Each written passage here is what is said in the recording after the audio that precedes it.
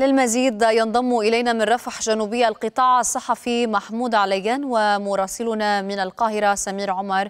أبدأ معك محمود. طبعا يعني نستعرض معك الوضع في القطاع على وقع خيبة جديدة متوقعة مع إجهاض لربما المشروع القرار العربي في مجلس الأمن. كيف تبدو الأمور اليوم أو خلال الساعات الماضية داخل القطاع على المستوى الميداني؟ نعم ميشيلا مع مزيد من الإحباط لدى الفلسطينيين سيما أن هذا المشروع كان بطريقة أو بأخرى سيمهد لوقف إطلاق نار ودخول المساعدات إلى مناطق كثيرة من محافظات قطاع غزة لا سيما تلك التي تعاني الآن من حالة المجاعة الشديدة في مدينة غزة. والشمال تستمر الغارات الإسرائيلية على مناطق عدة في قطاع غزة. في مخيم النصيرات الحصيلة الأكبر للقتلى 15 فلسطينيا قتلوا في إحدى الغارات على منزل في المخيم في الناحية الغربية منه. بينما في مدينة خان يونس أيضا كان هناك عدد من القتلى سبعة منهم وصلوا إلى مستشفيات رفح وأحد القتلى كان في المنطقة الغربية بعد أن حاصرت القوات الإسرائيلية إحدى المدارس وطلبت من الموجودين فيها التوجه إلى منطقة المواصي. وبالتالي يمكن أن نقول بأن الجيش الإسرائيلي مع إعلانه عن قرب انتهاء عملياته في خان يونس لا تزال. عمليات القصف والاستهداف مستمرة في هذه المدينة بالمقابل أيضا لا تزال التنظيمات الفلسطينية تمارس عملها في هذه المدينة. اليوم قوة إسرائيلية نجت من موت محقق بعد أن أطلقت عليها قذيفة أر بي جي في داخل أحد المنازل واشتعل هذا المنزل واضطرت وحدات من المدرعات للتدخل وإنقاذ هذه القوة لكن رفح التي تعاني أيضا أوضاع إنسانية صعبة واكتظاظ غابت عنها اليوم الغارات الإسرائيلية لتعود قبل قليل واحدة من هذه الغارات التي استهدفت سيارة في حي أو في مخيم الشابورة وسط المدينة أدت إلى مقتل اثنين من الفلسطينيين. وسط كل هذا الزحام من التطورات الميدانية أيضا هناك عملية ترقب ربما لبعض التحركات على صعيد حركة حماس التي وصلت إلى القاهرة. ويقال في هذا الجانب بأن الباب لم يوصد بعد ما زال هناك شيء يمكن الحديث عنه. أنا أقصد هنا ما ينظر إليه الشارع الفلسطيني.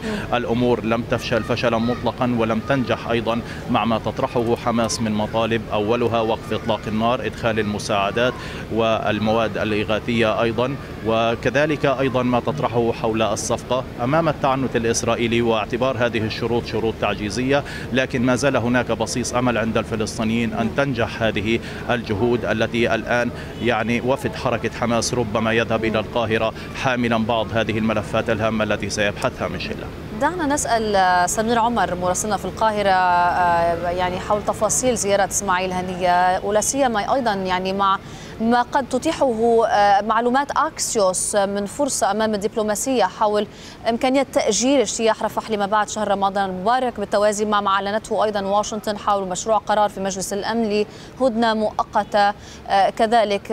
نستعلم عن التفاصيل معك سمير.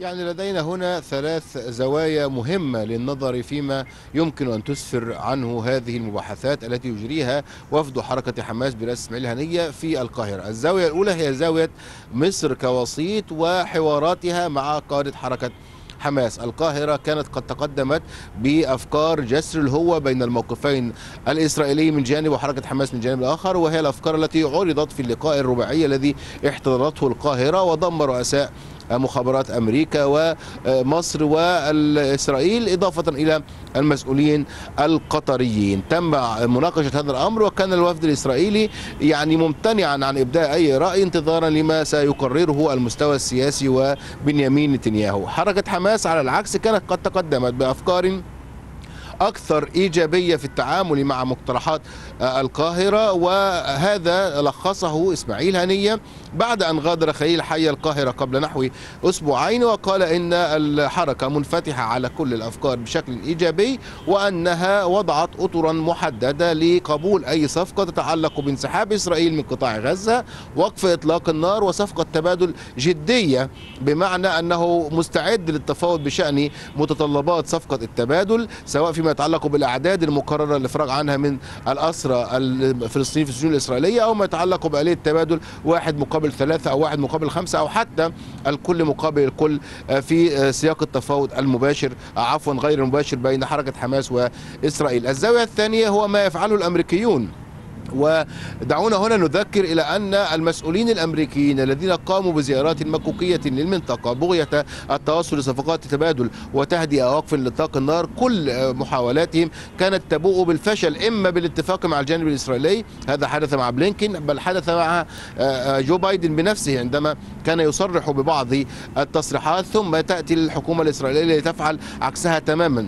حدث ذلك مع بلينكين مرتين وحدث أيضا مع ويليام بيرنز رئيس ال CIA مرة على الأقل. الآن نحن في انتظار المسؤولية الأمريكية ولكن التصور الأمريكي يركز بشكل أساسي هو على إجابة سؤال كيف يمكن الإفراج عن كافة المحتجزين الإسرائيليين لدى قادة الفصائل المقاومة الفلسطينية في قطاع غزة؟ هذا هو العنوان الذي تسعى الولايات المتحدة الأمريكية إلى إنجازه بغض النظر عما سيقدمه الجانب الإسرائيلي من تنازلات بين الظفرين للجانب الحمساوي. الزاوية الثالثة هو ما يتعلق بموقف الحكومة الإسرائيلية. القاهرة وترى أن حجر العثر الدائم أمام إنجاز هذه المفاوضات هو الموقف المتصلب والمزايدات الدائمة التي بل والابتزاز الذي يمارسه الجانب الإسرائيلي. حتى ما يتعلق بالتلويح باقتحام رفح أو عدم الانصات للمطالبات الدولية والأممية بمنع هذه العملية اليوم عندما يتم تسريب خبر يتعلق بتأجيل الهجوم على رفح إلى إبريل هو أيضا جزء من حرب التصريحات التي تلعبها إسرائيل بشكل جيد لكي تحصل على مكاسب أكبر على مائدة المفاوضات. سواء كان ذلك صحيحا أو مناورة إسرائيلية لكن على الأقل عندما يتحدث الجميع في مفاوضات غير مباشرة بين الجانب الإسرائيلي وحركة حماس يأخذون في الاعتبار ما يتم تسريبه بشأن اقتحام رفح. سواء كان ما قاله نتنياهو من اقتحام سريع وتهديد بكارثة إنسانية أو ما يتعلق بتأجيل هذا الهجوم ربما ليمنح نفسه قدرة أكبر على المناورة فيما يتعلق بصفقة التبادل. شكرا. سمير عمر مراسلنا في القاهرة ومحمود عليان الصحفي في رفح جنوب قطاع غزة على هذه الإحاطة